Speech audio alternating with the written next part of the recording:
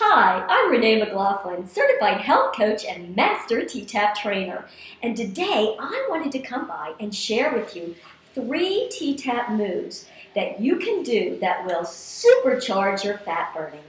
People always ask me, why does T-Tapp work so incredibly well at helping you whittle the middle and cinch you in and up so quickly?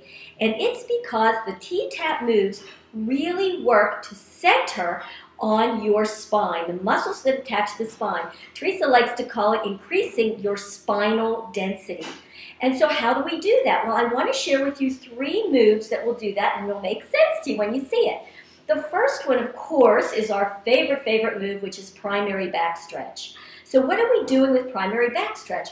Well, we're tucking and we're scooping. We're really working all the muscles up the spine. We're extending and extending. So we're really stretching and increasing the movement of the muscles in the spine. That's the first move. Second move is reach scoop. What are we doing? We're stretching our sides. We're stretching all the muscles. Stretching all the muscles up here evenly, left to right, which is another way to increase the muscles that attach to the spine. And the third move, which is actually a couple moves, and you can choose which one you prefer.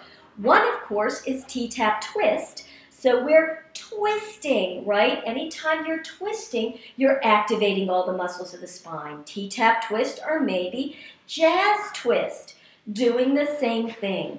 So as you can see, all these moves are working the muscles of the spine from all the different angles, twisting, scooping, extending, and stretching.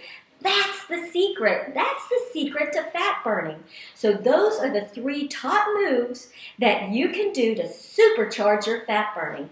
You can do them by yourself by themselves, or you can do those before you go out and do any of your other movements, like maybe walking. Use those three moves to warm yourself up. Thanks. Have a great day.